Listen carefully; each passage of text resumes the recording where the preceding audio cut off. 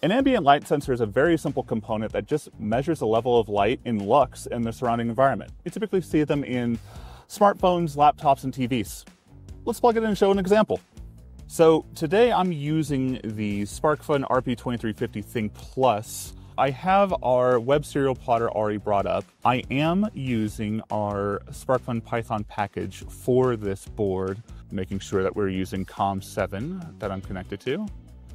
And voila, we are now getting the ambient light levels of our surroundings, which right now it is a kind of cloudy day. I can see a little bit of blue sky, but not very much.